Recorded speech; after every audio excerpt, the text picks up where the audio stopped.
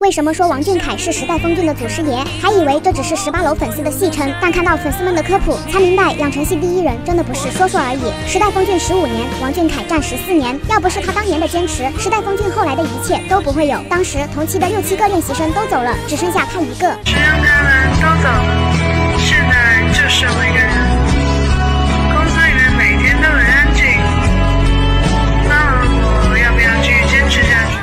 层都对这个项目不抱希望的情况下，十二三岁的王俊凯依然坚持每周都去上课。九龙坡区到长江国际要两个小时，他一个人坚持了好多年，努力练舞，拉韧带痛到哭，一边学习一边兼顾练习生的身份，数次练到低血糖晕倒。正是有了王俊凯的坚持，公司才没有彻底灰心。可他明明最开始以为这一切都是骗人的，骗子之类的，不想去，然后就想自己把学习搞好。王源愚人节发文说要退出，只有王俊凯当真了，给他打了七个小时电话，留住了王源的十年。谁还记得最开始的时候，是他们拉着破音响唱个两人一首的歌，才有了现在的一票难求。即使三家再怎么撕，也从来没有质疑过他队长的位置。呃，大家好，我是什么时候能让你开头了？什么时候能让你开头了？